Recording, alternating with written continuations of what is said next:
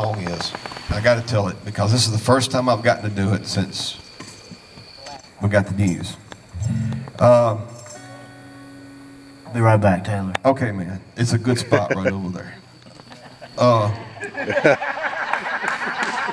we, uh, my wife, uh, two years ago, January or so, two years ago, wanted to adopt a cat. Now, I've always been a dog person, and um, but I lived out in the country most of my life, and we always had outdoor animals. I mean, and cats, you know, served a great purpose. Um, they kept the rodents away. And she said she was not going to have an indoor dog again. We had had one since our first year of marriage, and I get it. There's a lot, lot more maintenance with the dog. So I surrendered, and we drove to the shelter in Ocean Springs, Mississippi, and we adopted a cat. And that cat has entertained me to the point that I can't wait to see her every evening when I come in. And she's just, she's just a show. She's funny. She's the weirdest cat you ever seen in your life.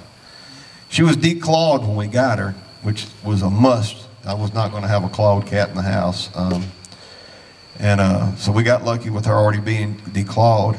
And two weeks before Christmas in 2014, I'm lying on the bed, and she wasn't a young cat. She was probably six years old or so when we got her. And she leaps up on our bed for her nightly position and get her nightly rub downs. And I'm not exaggerating it. She's got, she's got a ritual she goes through. And she didn't struggle to get on the bed, but I thought, you know, it's going to come a time when I'm going to have to help her get up here if she wants to be up here because she's got no claws. And she, you know, and I started thinking. It's two weeks before Christmas. I said, what is, this is what songwriters deal with in their whole, you know, it's the crazy things we think of. I said, what if a declawed cat wrote a song to Santa Claus for some claws? I said, by God, ain't nobody wrote that before. So I started coming up with an idea the next day, and I had this chorus together and this, some, some pieces, and it was kind of flowing pretty good. And I took it to my buddy Tommy Crawford in Pascagoula, and they had recently buried their cat of 15 years.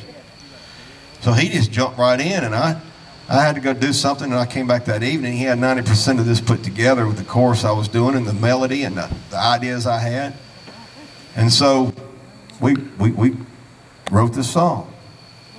And being so close to Christmas, I mean, we didn't have many times to do it. The first time I tried to do it out uh, at, a, at, a, Christmas party get together, I screwed it up so bad, and people still laughed. And I said, we might be onto something here.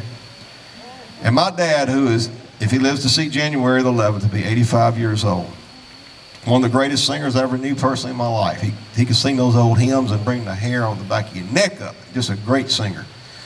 But didn't know anything about songwriting. And when I came along, I started songwriting, and um, and I'm not the singer. I'm not, not a great singer. I know that. And uh, it took a long time for him to start getting the idea of the craft of songwriting. And well, I've written some a lot of songs and some recognition, won a few awards. But when he heard this song, he said, "Oh boy, if y'all don't get a hit on a cut on that, you might as well hang it up." Start thinking all the songs I've written. It's about a darn cat that you get your dad's proverbial pat on the back. Well, through all this, I got to be a couple years, a few years ago. I'm, I'm very good friends with uh, Ray Stevens' daughter, and she's a tremendous songwriter herself and tremendous entertainer. And I'm, I, am just a fan. And Suzi Ragsdale, and so you kind of get into a sticky situation about asking somebody with a connection like that to pitch a song for you. That's her dad, you know. And Bo Roberts, that I mentioned earlier, and Sonny Throckmorton, four-time songwriter of the year, and uh, Hall of Fame. They heard this song one night at a patio party. Tommy did it, and they almost fell off their chair laughing. And they said, That is a Ray Stevens song. So I waited a while, and I sent. Uh, I was talking to uh, Suzi, and I said, "You know what? We've written this song, and your dad would just kill it." I said, "If I happen to, if I could, I send it to you. If you think it's good enough, would you forward it for me?" She said, "Sure, send it on." So I did. That was uh, spring of, of this year. And uh, we didn't hear anything. So we were talking again about three months later about something. She goes, send me that song again. Because she had heard it. And uh, she said, and copy this, his, his assistant. So I did. That was on a Friday. I happened to be in Nashville that Monday, and I get an email, and they like the song. Well, we waited a while. We thanked them, and get another email a week later and said, Mr. Stevens said, tell you boys to be patient. He's working on his best cat voice. So that's all we heard. So three months later, I hadn't heard anything. My sister's an artist, and I sent two illustrated pictures because we're thinking about doing a children's book around this too. I said, in case Mr. Stevens is still interested, or if he's not interested, you know, we're thinking about doing a children's book too. We figured the Christmas album was shot, or you know, was, was finished, and we didn't make the album. She came back. She loves the pictures. Because I'll show these to Mr. Stevens. She goes, Oh, by the way, he has cut the song and it is on his Christmas album to release in November. That's where you're supposed to applaud. Yeah. How about that? The legendary Ray Stevens. How about that? The rest of the story is I was in Nashville last week. They invited us up, signed the paperwork, got pictures taken, and the background singers were there to put their part on the uh, song. And he goes, You boys want to hang around while the girls put the background vocals on? Why, heck yeah. we're in Ray Stevens' studio. So that's pretty cool, man, and we're very grateful. We, I don't know, I don't know the, the title track of the album, what it's going to be, but if you will, look for the Ray Stevens Christmas album release, and this song's going to be on there. I have not learned. He's made some tweaks. This is going to be the original version. This is the way it was written.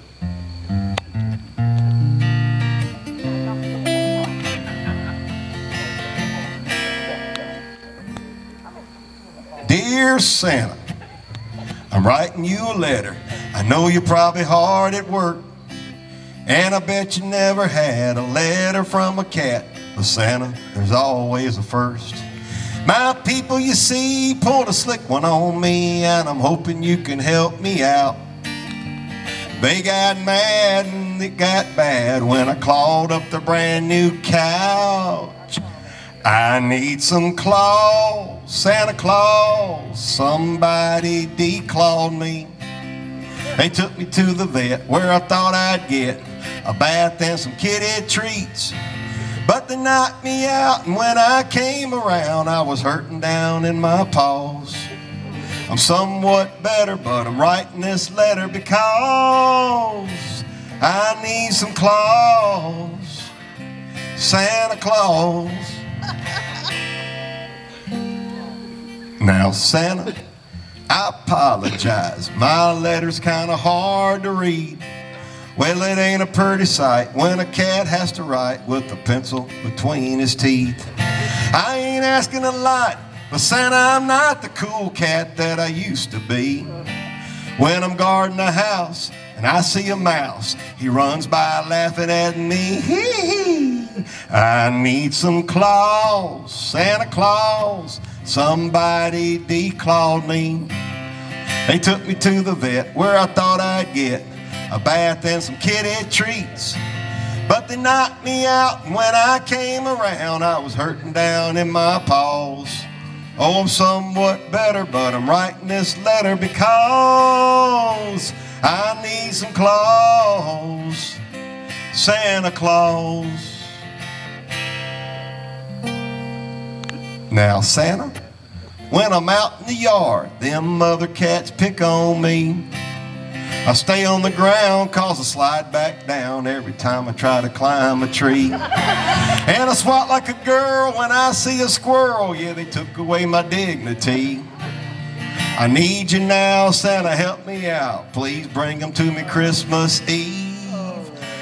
I need some claws, Santa Claus. I've been thinking about suicide.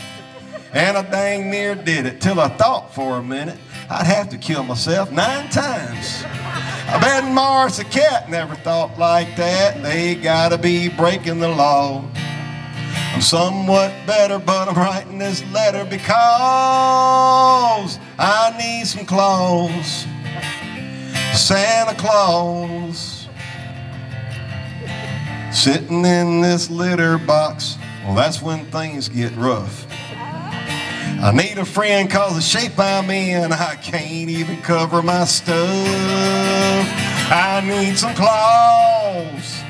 Bring me some claws, Santa Claus. Me out. Thank you very much. I'll be sure to buy that album then. And if the single comes out, buy about 50 of them each. Uh, Matt, are you going to play another one or not?